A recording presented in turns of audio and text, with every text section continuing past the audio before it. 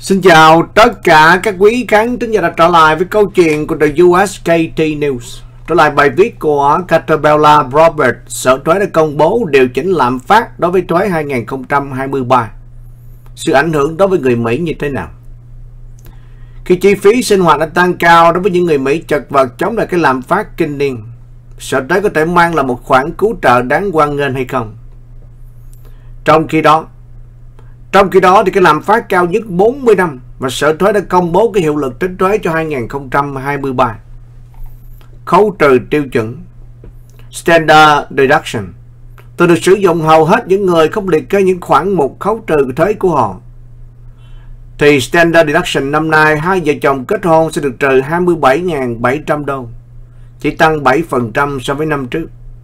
Nhưng mà trên thực tế nó cũng không có xóa vào những cái giá chi tiêu mạnh thức ăn tăng 35%, xăng dầu tăng 35%, tiền rent tăng 15%, tiền điện tăng 15%, nhưng mà khấu trừ deduction chỉ có 7%, vẫn tiếp tục những con số rất là mị dân.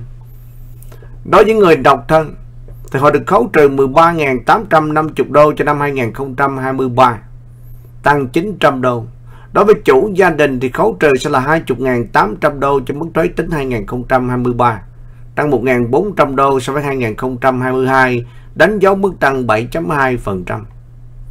Khung thuế Đối với khung thuế tính của 2023, mức thuế cận biên cao nhất hoặc mức thuế cao nhất dựa trên thu nhập vẫn là 37% đối với những người nộp thuế độc thân riêng lẻ có thu nhập lớn hơn là 578.120 đô la hoặc 693.570 đô la cho cặp vợ chồng khai thuế cùng nhau.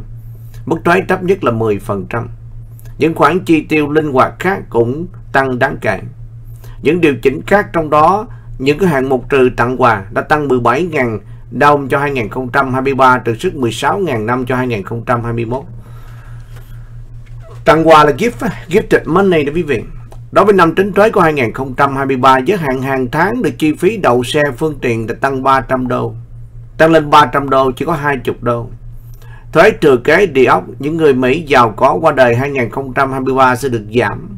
Giảm, giảm, giảm nhiều ghê, tới 900 ngàn đô. ok. Đó là những câu chuyện mà chúng ta tiếp tục để chúng ta thấy là gì cái nền kinh tế của Biden và cái sở thuế sẽ mướn thêm 87.000 nhân viên. Nó sẽ bóc lột, nó sẽ lột chúng ta từng đồng mà từng đồng một. Và đó là câu chuyện của The USKT News. Xin chào tạm biệt và chúng ta sẽ hẹn gặp lại nhau trong cái chương trình tiếp theo. Xin cảm ơn sự ủng hộ chương trình những bản tin ngắn của quý vị. Chào tạm biệt và hẹn gặp lại.